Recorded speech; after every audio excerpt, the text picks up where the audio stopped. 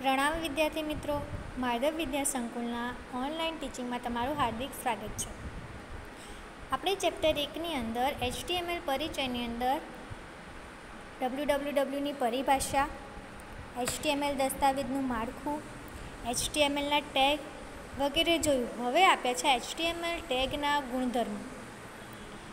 તો ટેગની સાથે વધુ માહિતીને દર્શાવવા ટેગની સાથે વધારાના ગુણધર્મો જોડવામાં આવે છે. એટલે કે આપણે જે ટેગ જોયા હતા, તેની સાથે વધારાની માહિતી દર્શાવવા માટે તે ટેગની સાથે તેના ગુણધર્મો લખવામાં આવે છે. કોઈપણ એલિમેન્ટના ગુણધર્મો તેના શરૂઆતના ટેગની સાથે દર્શાવાય છે. એટલે કે કોઈપણ એલિમેન્ટના ગુણધર્મો આપણે જે ટેગ ઓપન કરીએ છીએ તેની સાથે લખવામાં આવે છે. અને આ ટેગ ગુણધર્મ બે ભાગના બનેલા હોય છે. પહેલું છે ગુણધર્મનું નામ અને બીજું છે ગુણધર્મની કિંમત. ગુણધર્મનું નામ એ ગુણધર્મનો કયો ગુણધર્મ ગોઠવવો તે દર્શાવે છે. જ્યારે કિંમત એ ગુણધર્મ ગોઠવવાની કિંમત છે. જે બે અવતરણ ચિહ્નની વચ્ચે દર્શાવવામાં આવે છે. ગુણધર્મનું નામ અને ગુણધર્મની કિંમત વચ્ચે ઇક્વલ ટુનું ચિહ્ન મૂકવામાં આવે છે. અને ગુણધર્મની કિંમતને ડબલ અવતરણની ડબલ અવતરણ ચિહ્ન વચ્ચે લખવામાં આવે છે. હવે આપ્યું છે અલાઇન ગુણધર્મ. અલાઇન ગુણધર્મ એવું દર્શાવે છે કે મથાળું પાનાની ડાબી બાજુ, જમણી બાજુ કે મધ્યમાં કયા સ્થાને દેખાવું જોઈએ. અલાઇન ગુણધર્મ એટલે કે એવું દર્શાવે છે કે આપણે જે પાનાની અંદર મથાળું આપીએ છીએ, હેડિંગ આપીએ છીએ, વેબ પેજની અંદર, એ આપણે કઈ બાજુએ લખવું છે? જમણી બાજુ, ડાબી બાજુ કે વચ્ચે? પૂર્વ નિર્ધારિત રીતે લખાણ કે મથાળું પાનાની ડાબી બાજુએ જ ગોઠવવામાં આવે છે. એટલે કે પૂર્વ નિર્ધારિત એટલે કે હંમેશા આપણે મથાળું કે હેડિંગ પાનાની ડાબી બાજુએ જ લખીએ છીએ. અલાઇન ગુણધર્મ સાથે નીચે દર્શાવેલ પૈકી કોઈ એક કિંમત ગોઠવી શકાય છે. અહીંયા અલાઇન ગુણધર્મની કિંમત આપી છે. ત્રણ કિંમતો છે, લેફ્ટ, રાઈટ અને સેન્ટર. તો પહેલું આપ્યું છે લેફ્ટ. તો લેફ્ટ એટલે કે ડાબી બાજુ. એટલે કે લખાણ પાનાની ડાબી બાજુ ગોઠવવામાં આવે છે. એટલે કે આપણે કોઈ પણ પેરેગ્રાફ લખીએ છીએ, તેની અંદર અલાઇન ગુણધર્મનો યુઝ કરીને તેની કિંમતમાં રાઇટ લખીએ છીએ, આ સોરી લેફ્ટ લખીએ છીએ એટલે કે આપણું લખાણ પાનાની ડાબી બાજુએ લખાય છે. પછી સેકન્ડ આપ્યું છે રાઇટ તો રાઇટ એટલે કે લખાણ પાનાની જમણી બાજુએ ગોઠવાય છે. એટલે કે કોઈપણ પેરેગ્રાફ અથવા તો કોઈપણ માહિતી આપણે લખીએ છીએ અલાઇન ગુણધર્મનો યુઝ કરીએ છીએ અને તેની કિંમતમાં રાઇટ લખીએ છીએ. એટલે કે લખાણ પાનાની જમણી બાજુ લખાય છે. જુઓ, નીચે ઉદાહરણમાં આપ્યું છે. પી ટેગનો યુઝ કર્યો છે. પી ટેગનો યુઝ પેરેગ્રાફ લખવા માટે થાય છે. પી ટેગ ઓપન કર્યો છે. તેની બાજુમાં અલાઇન એ ગુણધર્મ છે. પછી આપી છે ડબલ સોરી ઇક્વલ ટુ એટલે કે બરાબરની નિશાની.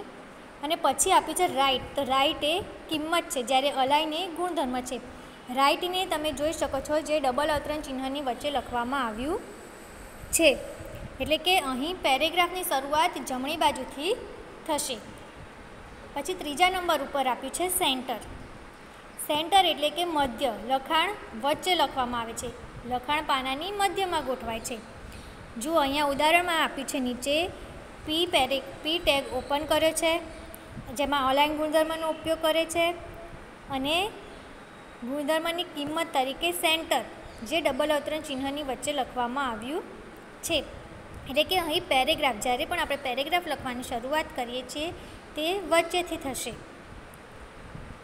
પછી સેકન્ડ નંબરનું ઉદાહરણ આપ્યું છે. જુઓ એચ વન ટેગ ઓપન કર્યો છે, જેમાં અલાઇન ગુણધર્મ યુઝ કર્યો છે, જેની કિંમત સેન્ટર આપી છે અને હેડિંગ આપ્યું છે એચટીએમએલ પછી એચ વન ટેગ ક્લોઝ કર્યો છે, એટલે કે અહીં હેડિંગ સ્ક્રીનમાં વચ્ચે દર્શાવાશે. એટલે કે જે એચટીએમએલ આપ્યું છે, એ આપણને વેબ બ્રાઉઝરની અંદર જે આઉટપુટ મળે છે તે આપણને વચ્ચે લખેલું જોવા મળશે એચટીએમએલ હેડિંગ અલાઇન ગુણધર્મ પી ટેગ એચ વનથી એચ સિક્સ ટેગ તથા અન્ય વિવિધ ટેગ સાથે વાપરી શકાય છે.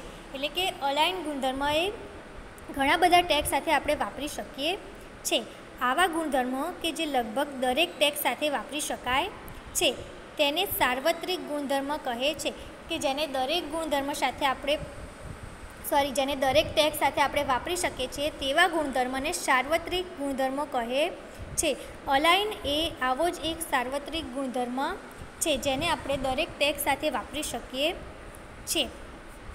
જ્યારે પેરેગ્રાફના લખાણને અલાઇન કરવામાં આવે છે, ત્યારે સરખી ગોઠવણ કરવા માટે લખાણના શબ્દો વચ્ચે ક્યાંક ક્યાંક વધારાની ખાલી જગ્યા આપમેળે ઉમેરવામાં આવે છે. એટલે કે જ્યારે પણ આપણે પેરેગ્રાફ લખીએ છીએ ત્યારે તેનો અલાઇન ગુણધર્મનો યુઝ કરીએ છીએ ત્યારે સરખી ગોઠવણ માટે લખાણના શબ્દો વચ્ચે અમુક વધારાની ખાલી જગ્યા આપમેળે ઉમેરવામાં આવે છે અને આ આપમેળે ઉમેરાતી ખાલી જગ્યાને સોફ્ટ સ્પેસ તરીકે ઓળખવામાં આવે છે.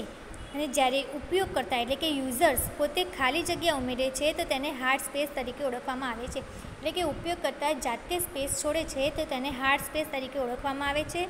અને આ ખાલી જગ્યા આપમેળે ઉમેરવામાં આવે, તો તેને સોફ્ટ સ્પેસ તરીકે ઓળખવામાં આવે છે. આ હતા ટેગના ગુણધર્મો.